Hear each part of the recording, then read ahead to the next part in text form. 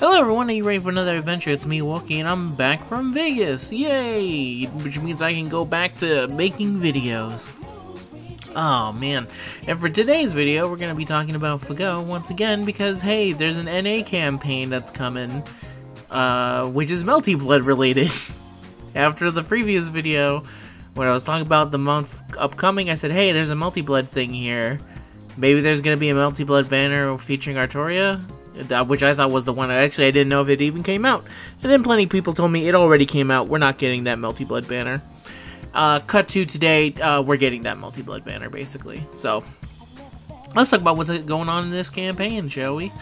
So, obviously, Evo's coming up pretty soon, so what better way to have an excuse to have a Melty Blood banner than to literally just say, this is for Evo. Man, I really... I wonder if they're to announce anything at Evo. It's, I, uh, you know, obviously, if they were going to announce anything, it'd probably be new game, new characters for the game. Um, hmm, I wonder who they would even announce. Apparently, there's still plenty of Melty Blood characters not in the game yet. They're not going to add Sion because I think they've said that it takes place in the past and we can't have Sion in there, which is dumb. It's very dumb. They should just put her in the game. But anyway, uh, if I had any wish, it would uh, them for them to release to announce that they're just doing up a Fago fighter, so that I don't have to think about Melty Blood characters, and I can just get Fago characters on their own. But anyway, I digress. Melty Blood needs to be doing needs to do really well in order for there to be a Fago fighter. So keep sporting it, keep playing it, and good luck to anyone out there who's going to Evo. Anyway, the campaign summary. Uh, if you don't know what Melty Blood is, it's a 2D fighting game. It's really good. And we're going to get some craft essences related to it. One with Mash, one with Dantes, and one with Ushiwakamaru, who are the three DLC characters from Fago. Technically speaking, Saber is from Fate itself, so I don't really count her as a Fago fighter. But these three are definitely Fago fighters. So we'll have Melty Blood type Lumina Evo Selection Celebration quest, which will be able to also get the uh, Mash... Uh, right here. Uh, this right here. We'll be able to get her swimsuit outfits, both of them. Should be pretty easy to get. And then there'll also be a quest here that will let you get this CE, which is related to this, and here's some screenshots from the game itself. Uh, there will be a login bonus, and that login bonus is where you'll get those three CEs. Mash is the first, Dantes is the second, and Ushiwakamaru is the third. I don't think there's anything else related to them at all, just, yep, those three.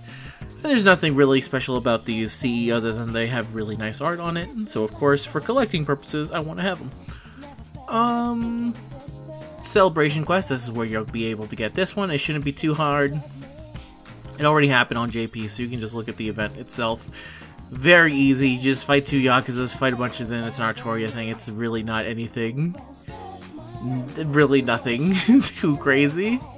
Other than your mash has to be in the front line, so maybe Oh, and she also gains 200% NP charge? This is literally the easiest thing ever. You can easily get this Mystic Code. Um, not this Mystic Code.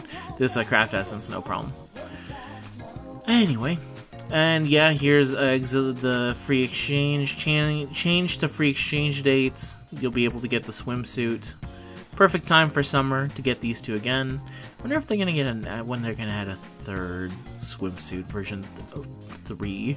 Should be interesting to see pretty soon on the JP side.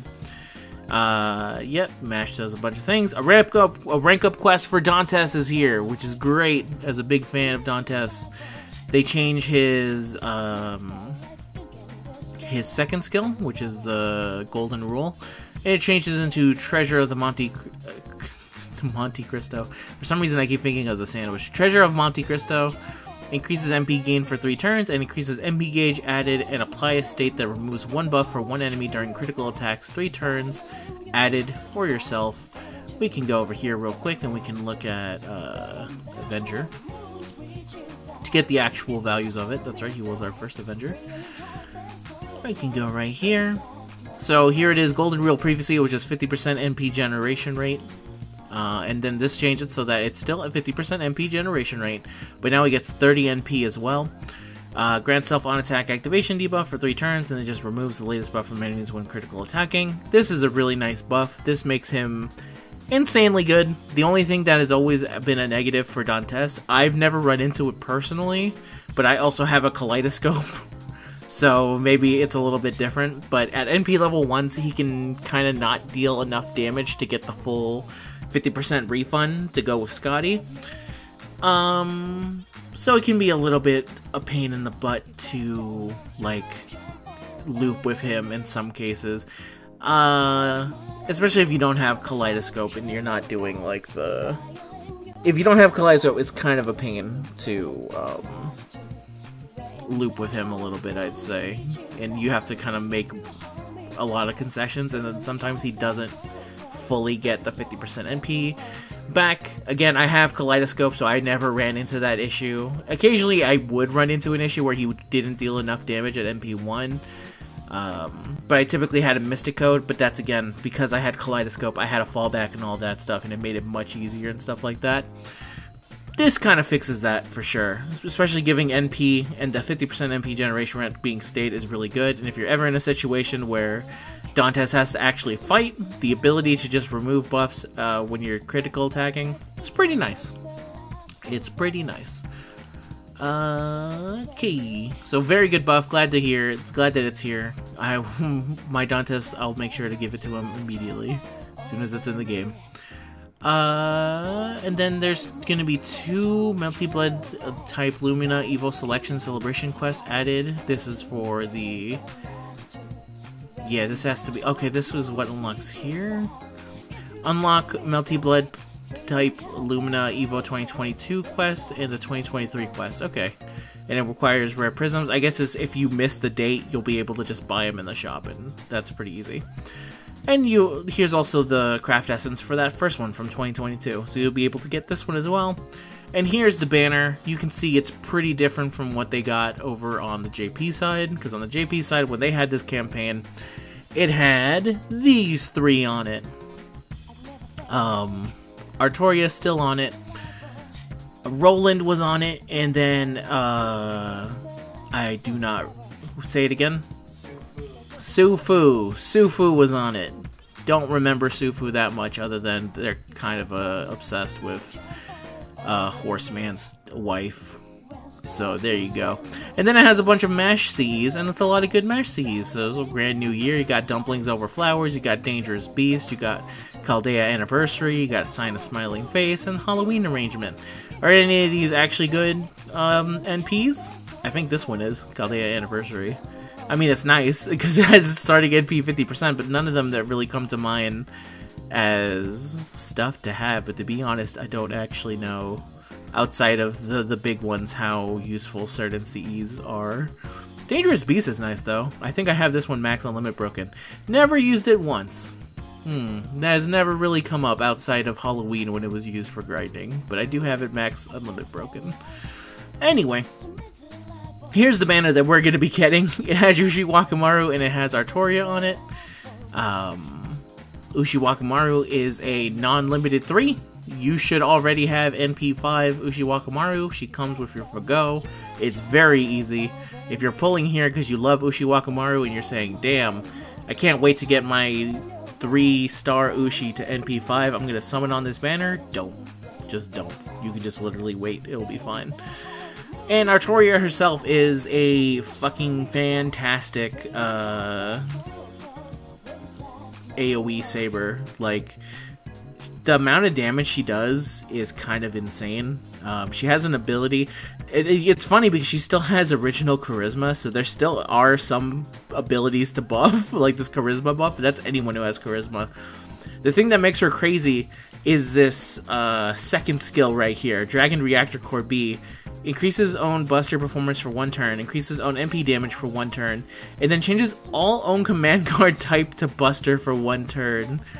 It's hilarious. She may have a Buster, Buster, Arts, Arts, and Quick, but she can just have all these cards and just have a straight up five Buster hand. or more likely than not, you have one Buster and a Quick, and you're just like, you know what would be better if that Quick was a Buster real quick, and you could just deal insane damage. And if you're wondering, like, oh man, um, what if I want to have this arts card because it can help me gain a little bit of NP gain if I'm attacking. If I don't finish killing the enemy, I can at least use the arts card to get some NP. It's fine because her Noble Phantasm charges her own NP gauge as well. And then she also has a third skill, which, no, in the second skill, it gives, uh, no, no, yes, that's the third skill. Charges her own NP gauge by 30%. So that means at NP1, you get 20% NP back, and then you get, from this third skill, you get 30%. So that makes it very effect effective to use with Vitch, because it's not that hard. Um, to get her to 50% in that way. Uh, and this is only on a cooldown of 5. It's very easy to do. It's very, very easy. She's a fantastic uh, AoE Saber. Uh, at least on NA side, I would consider probably one of the best. But to be fair, I don't have every single AoE Saber in the game. But I think she's really good. And she's really neat. And it's a very nice comeback story for a unit who was bad for very, very, very many years in Fugo. So if you definitely want her, I can understand summoning for it. I really wouldn't but you know what? Some people just want Saber, and I support you. Good luck to you. And yeah, that's it. The campaign should start on the 3rd, which is going to be at. Uh, um, yeah, should, is it today? No, it's tomorrow by the time this video releases, anyway.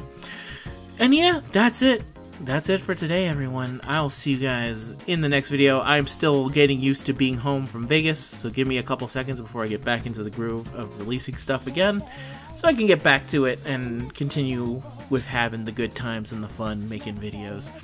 But that's it for today. Good luck to you if you end up summoning. Uh, if you're at EVO for Vegas, you just literally missed me at Vegas. But if you somehow are listening to this and you're going to EVO to sign up for Melty Blood, good luck to you. Hopefully you win. Hopefully we get some more announcements for Melty Blood. It would be nice to get some more DLC announcement. Mainly because it's all free. Uh... Hmm? Is there DLC coming? Who's the final two uh, that they've announced? They haven't announced them. Who could it be for Melty Blood? Who is the hinted characters at the end of the Fago story for Melty Blood? Alright, I'll have to just actually do the video myself and finish the Fago story because I think I still need to do two more, right? Super hard version of the story where you play actual Melty characters. play as Shiki specifically. Damn. I'll see you guys in the next video. Peace out.